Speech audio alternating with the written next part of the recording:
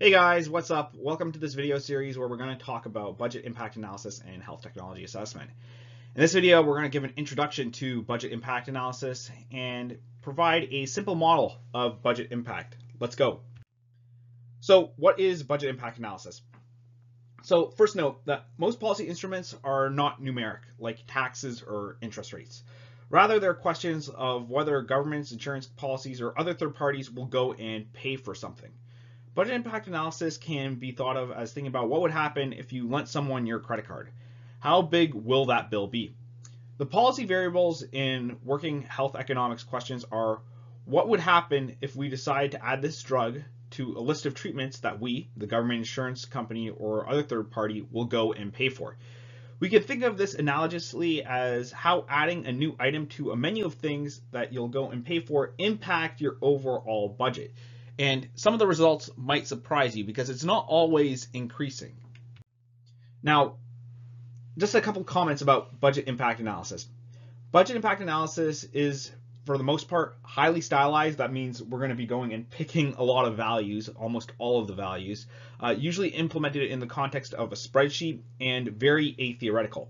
The methods used in budget impact analysis will be ones informed by considering changes in treatment mixes and specific target population. I think it's particularly important to know about this tool as it provides insight on what working health economists use regularly in a policy environment. Now, let's go and look at you know this standard you know budget impact model here, right? I made two tables, right? You could go and put this in Excel or whatever. And this approach is referred to as the cost calculator approach.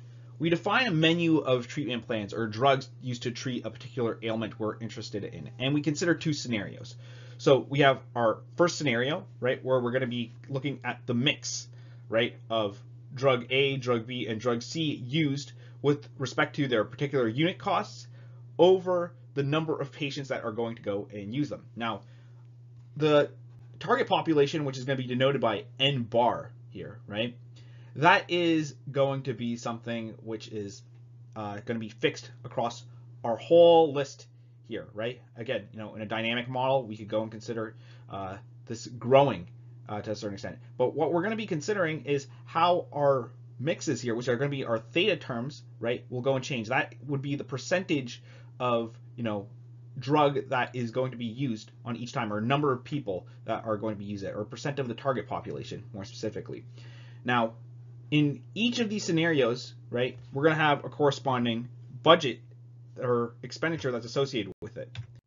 Now, we're going to call this B1 and B2, and in this case, we're just going to go and sum up, right, the costs that are borne by each one of these scenarios. So in scenario one, right, we would go and consider the amount that's being paid for for those using drug A, those using drug B, and those using drug C.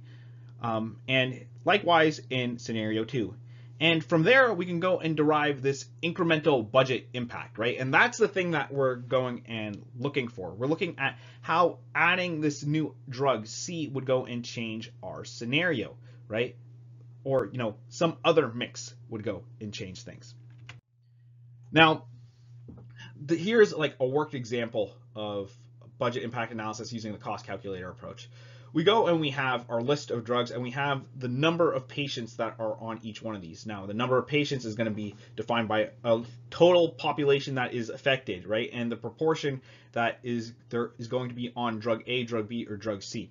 Um, and what we'll go and have, what we'll go and have in, in this approach is that we're going to go and add up the total cost that's associated in each scenario. And what happens here, right, is that we'll go and see that if we go and we see a 5% shift, right, to drug C, right, 5% of that population, right, we actually end up with a cost saving scenario, right? So if we have a negative budget impact, that means we're going to have a budget saving that we go and have. So this is um, a very simple and though highly stylized approach to budget impact analysis.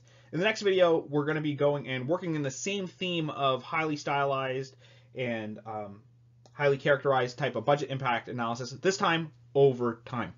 I'll see you guys in the next video. Take care.